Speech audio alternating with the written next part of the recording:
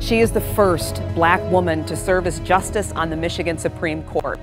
I had the chance to sit down with Justice Kyra Harris Bolden when she came to Broadcast House. You see, this runs deeper than becoming one of seven on the highest court in the state. She is the great granddaughter of a lynching victim. I do. I do. And with that applause, history was made in Michigan's highest court. What's it feel like to be, you know, 34 and living history? I understand the weight of this job. I understand the decisions that I'm making, and it is such an honor and a privilege to be one of seven people, equal partners, in making decisions about what Michiganders will do and how they live their lives. Newly appointed Michigan Supreme Court Justice Kyra Harris Bolden joined us in Broadcast House in her hometown of Southfield, where she and her family still reside. The Lathrop High School graduate gives the city full credit for the rich diversity in her background and the drive to accomplish her dreams. Does it surprise you at all to that we're still in 2023 having firsts in terms of African Americans? I know that it's a reality of what we're in and I know that it should be celebrated, but in 2023, I think that it's unacceptable to still be having firsts.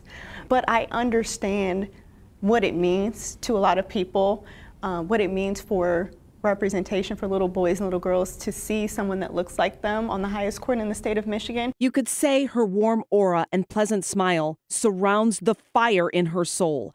Justice Bolden was studying to be a psychologist, but it was a conversation with her great grandmother while in college at Grand Valley State that revealed who she really is a product of great injustice. She shared with me before she passed the story of my great grandfather who was lynched in Tennessee in 1939 in Arlington, Tennessee. His name was Jesse Lee Bond. He was asking a store owner for a receipt, and this incited a lynch mob. And he was beaten and castrated and thrown into the local river. And the coroner deemed it an accidental drowning and as a result, his murderers walked free. I am so fortunate that that story was shared with me because it really did change the trajectory of my life. And some of the best days of her life, she says, were had in law school at University of Detroit Mercy School of Law. Lawyer Bolden was then elected to the Michigan House of Representatives in 2018 and spent many years being mentored by the very Michigan Supreme Court justice she would eventually replace. I assumed the seat of former Justice Bridget Miriam McCormack. She has been a long time mentor of mine.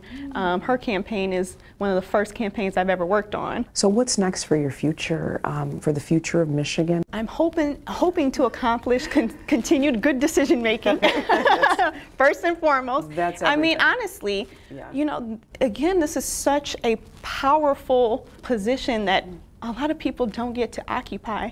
And so for me, that's what's next, is to make sure that while I may be the first, then I'm not the last. And as a first time mom to five month old Emerson, some of her most important rulings start at home. Being mommy to my five month old is very high on my list, making sure she's taken care of, and working hard in this new role is also very, very important. Oh, those videos of little Emerson. But to hear her talk about the way young eyes, starting with her own five month old daughter, yeah.